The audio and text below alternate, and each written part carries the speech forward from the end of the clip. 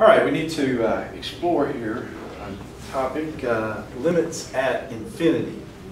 That's the way we phrase it.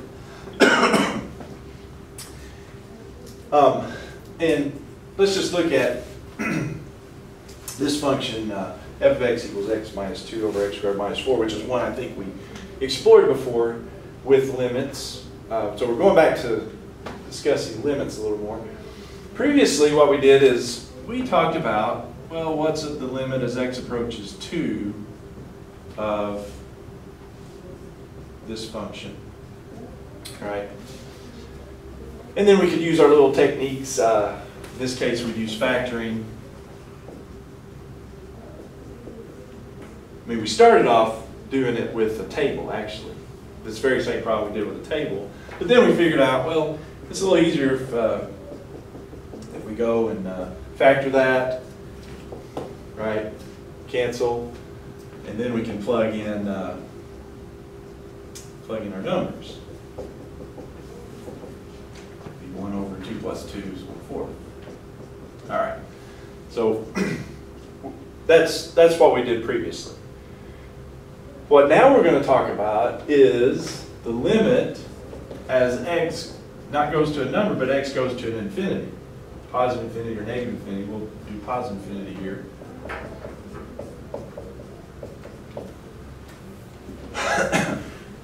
And the same techniques will not apply here. We're not going to want to factor here um, and do that. I'll show you what we'll do later, but just to kind of get a feel for, for what happens here, well, if I look at a table of values,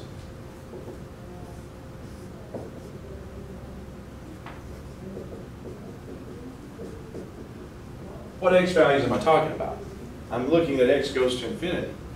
So I'm talking about large x values, 10, 100, 1,000.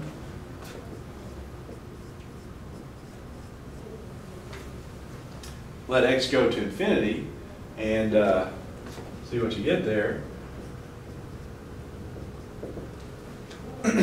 what we'll see is uh, something interesting. That'll be 8 over 96. Yeah, over 96.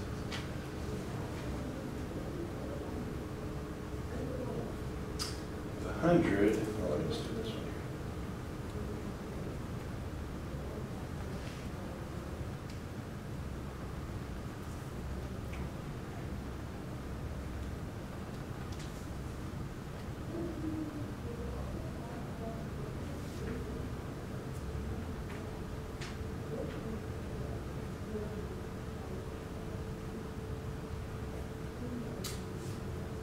with a hundred,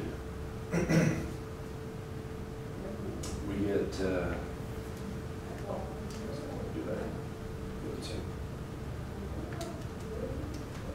Point zero, zero nine eight, eight, some tens. Point zero eight three three, if put in decimal. And then with a thousand,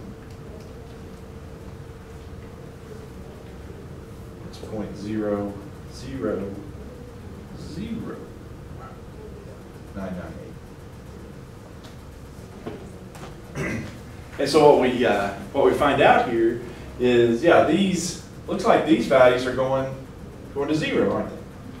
So we could we could still do that with the table. I mean that's we I don't even think we'll have to do any quite like that, but kind of get us into the thinking. So x is going to infinity, so the x is going larger Well, the, uh, the other way we can look at this is if you look at the graph of this thing,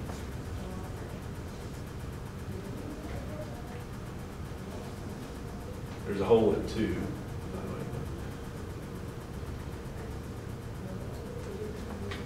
We kind of see the same thing because what's happening as x goes out to infinity is that, yeah, this thing is leveling off and it's leveling off at the uh, level is, uh, is y equals zero.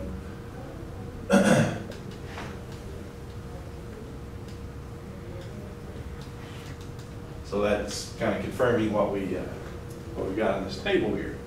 So that, that's the idea of what we're looking at here, is is what's happening as we go out to infinity.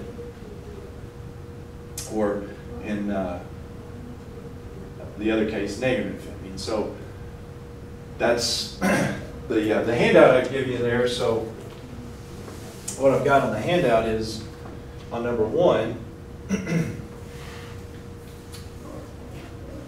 of the same, same idea, but uh, kind of put it in kind of a generic format here. So this is y equals f of x. Yeah, so what I'm looking at, when I'm talking about the limit as x goes to infinity of f of x, I'm looking at what happens on the graph on the far right. And in this case, limit as x goes to infinity on the far right, it levels off at L, doesn't it?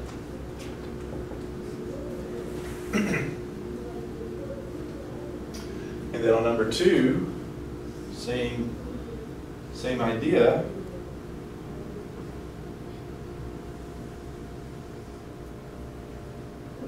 This is f of x here. And so the limit as x goes to negative infinity of f of x. Yeah, so if you've got this, you've got this function, and as you go out to the negative infinity as far as x goes, and it levels off at a certain level, I guess why I picked L there, but, well, no, I think it's limit, actually. But, uh, yeah, that's what you've got, uh, when you have a, as x goes to negative infinity, if you got a number, that's, that's what the graph, graph is gonna show, okay? Now, another way to phrase this is, uh, what we also have when we have these limits are L at positive or negative infinity, we also have what's known as a horizontal asymptote. In both cases here, we've got a horizontal asymptote.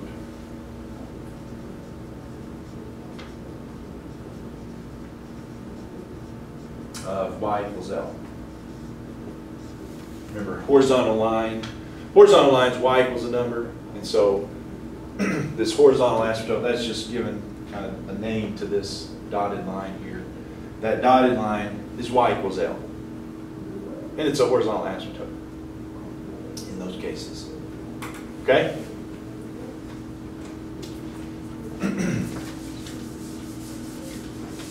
so on number uh, three, draw it up here.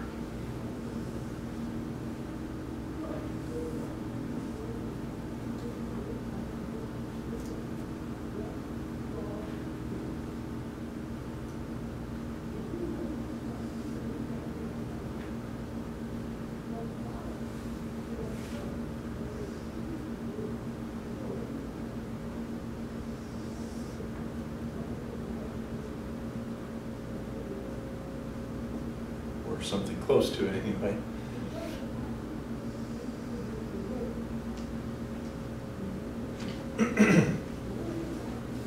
Vaguely uh, what it looks like. Handout has it much nicer, cleaner.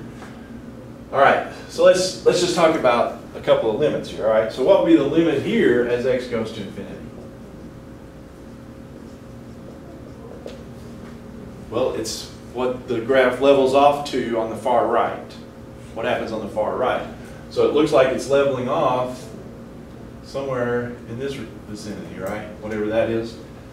Uh, we'll say five. Five sound good? Looks like it's going up to five. So that would be the limit as x goes to negative. It's what goes on the far right. Then the limit as x goes to negative infinity for this function. It's y equals f of x. So I'll call all three of them f of x. So, so negative infinity, it's what happens on the far left. And so what happens on the far left here is this one looks like it's leveling off in this vicinity here, which I believe is 2. I'm trying to gauge it there. About 2. So the limit would be 2.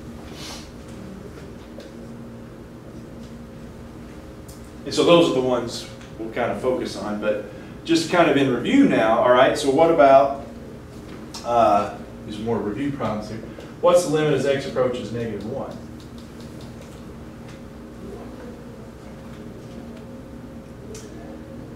Well, that goes back to several days ago.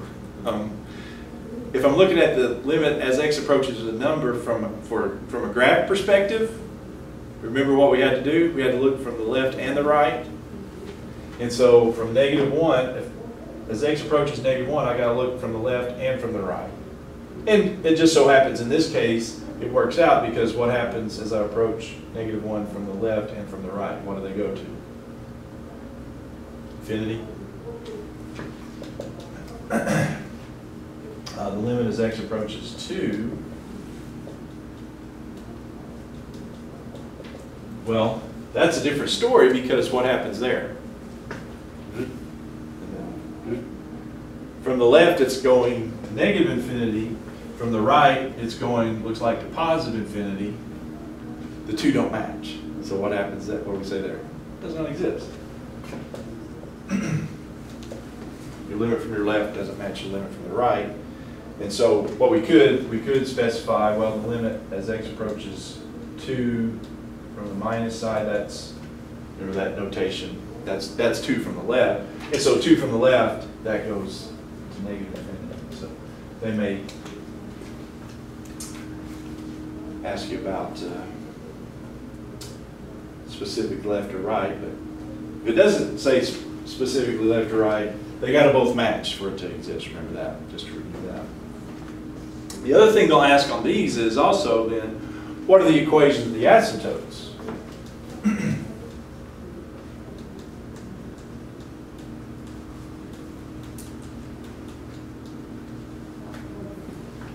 Equations of the asymptotes. Well, uh, we just mentioned here the horizontal asymptotes, that's where it levels off on uh, either the left or right. And so the horizontal asymptotes here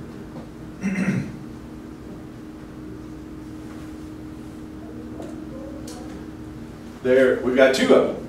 A lot of times functions just have one, but I made this function up, so I can do whatever I wanted. And I've got, so I've got two horizontal asymptotes, don't I? And it's y equals L, so I've got uh, y equals this L and y equals that L. So it'd be y equals five and y equals two. With me there? But because of the other structure of this thing, where I have these uh, infinity or negative infinity, uh, the limits equal to those, um, those are vertical asymptotes, aren't they? I didn't draw them in here, but uh, you've also got at these infinite limits, you've got these vertical asymptotes. So there's two vertical asymptotes as well. And remember, those are vertical lines, and so they would be, um, the form of them would be x equals a number. So be x equals negative one and x equals two. I think we talked about those uh, previously as well.